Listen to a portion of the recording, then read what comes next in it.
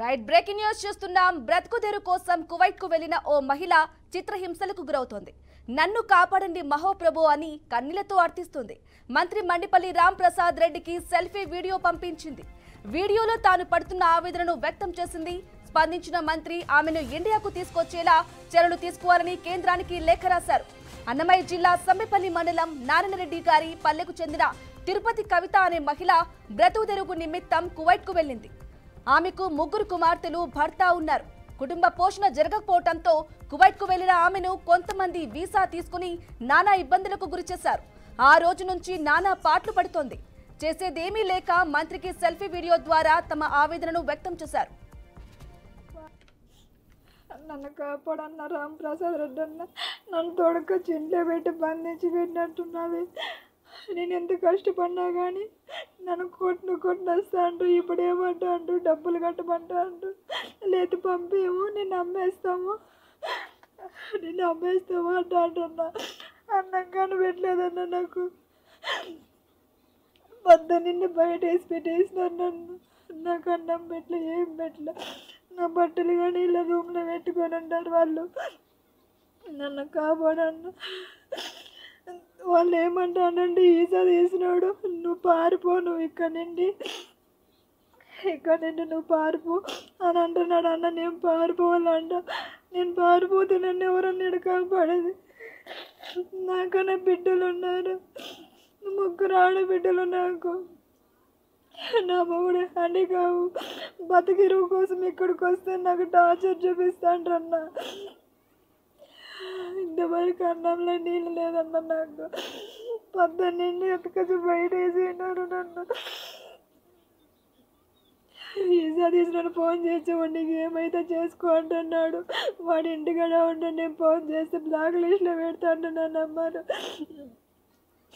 నన్ను. కాపాడన్నా ఇక ఇదే ఇదే సమాచారంపై మరింత సమాచారం అందించడానికి మా ప్రతినిధి సురేంద్ర అందిస్తారు. సురేంద్ర చెప్పండి. బ్రతుకుదెరు కోసం కువైట్కు కవిత అనే మహిళ వెళ్ళింది. చిత్రహింసలకు గురవుతూ ఉంది. అలాగే సెల్ఫీ వీడియోను తీసి మంత్రి మండిపల్లి రామ్ ప్రసాద్కి సెల్ఫీ వీడియోను పంపించింది. అలాగే మంత్రి స్పందించి కేంద్రానికి లేఖ రాశారు. దీనిపై ఎటువంటి చర్యలు తీసుకుపోతున్నారు? బాధితురాలికి న్యాయం చేస్తారా? కేంద్రం ఏం స్పందించింది? దీనికి సంబంధించిన కంప్లీట్ డీటెయిల్స్ ఇవ్వండి.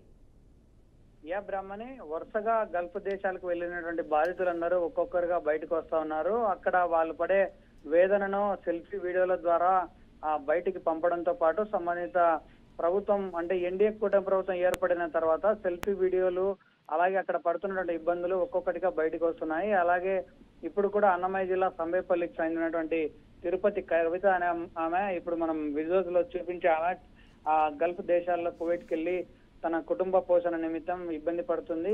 బేసిక్గా తన భర్త వికలాంగుడు కావడంతో తనకు ముగ్గురు ఆడబిడ్డలు ఉన్నారు.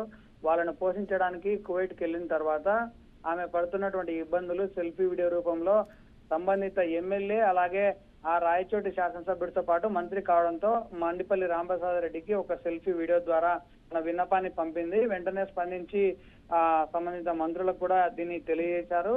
ఇప్పటికే అన్నమయ్య జిల్లాలో ఒకరిద్దరు ఇలాగే ఇబ్బంది పడినటువంటి వ్యక్తులను తిరిగి ఇండియాకు తీసుకురావడంలో ఇండియా ప్రభుత్వం సక్సెస్ అయింది కాబట్టి ఈమెను కూడా తప్పనిసరిగా ఇండియాకు తీసుకొస్తారన్నటువంటి నమ్మకాన్ని ఆశాభావాన్ని కుటుంబ సభ్యులు కూడా చేస్తున్నారు. ఎట్టి పరిస్థితుల్లో తను పడుతున్నటువంటి ఇబ్బందులు రెండు కారణాలు కూడా చెప్పింది. ఒకటి వీసా తన దగ్గర ఉన్నటువంటి వీసాను లాక్కున్నారు. అలాగే తనకు ఇక్కడ ఆహారం కూడా అందించడం లేదని చెప్పడంతో ఆ ఒక్కసారిగా ఈ విషయాన్ని గమనించినటువంటి మంత్రి అయితే చాలా తొందరగా రెస్పాండ్ అయ్యి ఆమెను ఇండియాకి తీసుకొచ్చే ప్రయత్నాలు జరుగుతున్నాయి. రాష్ట్ర వ్యాప్తంగా ఉన్నటువంటి పర్యటనలో భాగంగా మండిపల్లి రామప్రసాద్ రెడ్డి రేపు రాయచోటు కూడా రాబోతా ఉన్నాడు. ఈ విషయం మీద మరోసారి మాట్లాడి ఆమెను ఇండియాకి తీసుకొచ్చే ప్రయత్నాలు కూడా జరుగుతున్నట్లుగానే తెలుస్తుంది బ్రహ్మణి. సురేంద్ర అలాగే చెప్పండి. కవిత కువైట్కి వెళ్ళి ఎన్ని రోజులు అయింది అలాగే ప్రభుత్వం నుండి ఎటువంటి సాయం అందబోతుంది ఇండియాకు రావడానికి? ఆమె గత రెండు మూడేళ్ళ కాలంగా కువైట్లో ఉంది అప్పటి వరకు ఉన్నటువంటి పరిస్థితులు బయటికి చెప్పడానికి కొద్దిగా ఇబ్బందికరంగా ఉన్నట్టుగానే అనిపించింది. గత కొంతకాలంగా రెండు మూడు నెలల నుంచి కూడా ఇలా గల్ఫ్ బాధితులందరూ సెల్ఫీ వీడియోలు పెట్టడం ద్వారా వాళ్ళకు ఉన్నటువంటి ఇబ్బందులను గ్రహించి ఆ స్వయంగా నారా లోకేష్ కూడా చాలా మందిని ఇండియాకు రప్పించే ప్రయత్నం చేశాడు కాబట్టి ఇప్పుడు ఒకసారిగా ఈ వీడియో రూపంలో తన ఆవేదనను బయట ఇస్తే ఆ తను ఇండియాకు రావడానికి కొద్దిగా సులువుగా ఉంటుందన్న ఉద్దేశంతో వీడియో పంపిందనేటువంటి విషయాన్ని అయితే స్థానికుల ద్వారా తెలుస్తోంది. ఆ ఏదేమైనప్పటికీ తను పడినటువంటి కష్టాన్ని వీడియో రూపంలో పంపించడంతో పాటు కుటుంబం పూర్తిగా ఆర్థికంగా దెబ్బతింటా ఉంది. తనకు వచ్చిన తర్వాత కూడా ఇక్కడ లోకల్గా స్థానికంగా ఒక ఉద్యోగమా లేదంటే ఇంకొకటి ఏర్పాటు చేస్తేనే తన కుటుంబం పోషణకు ఉపయోగపడుతున్న ఉద్దేశంతో స్థానికంగా ఉన్నటువంటి కొంతమంది నేతలు కలిసి మండిపల్లి రామప్రసాద్ రెడ్డి కూడా ఈ విషయాన్ని తెలియజేశారు కాబట్టి వచ్చిన తర్వాత కూడా కుటుంబ పోషణ కోసం తప్పనిసరిగా ప్రభుత్వం బాధ్యత తీసుకుంటుందని చెప్పి మంత్రి మండిపల్లి కూడా అక్కడ ఉన్నటువంటి కొంతమంది స్థానికులతో చెప్పినట్టుగా తెలుస్తుంది కాబట్టి ఇటు.